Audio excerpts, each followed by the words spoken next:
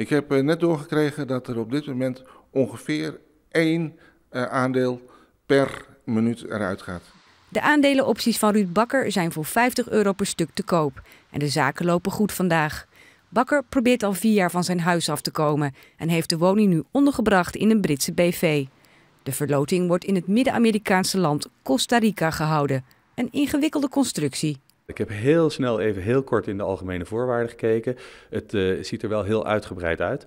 Maar ik zou me er echt een paar uur in willen verdiepen voordat ik zou durven zeggen: ik koop dat lot en ik ben blij dat ik heb gewonnen.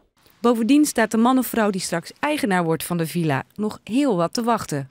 Ergens zul je belasting moeten gaan betalen, of het in Nederland is of in Costa Rica. Uh, kansspelbelasting, dan wel overdrachtsbelasting, misschien nog winstbelasting. Ook de kansspelautoriteit is kritisch en beraadt zich op stappen tegen de Winterswijker, want hij zou een vergunning nodig hebben. Bakker zelf ziet geen problemen. Er is een firma in Costa Rica die dat behartigt.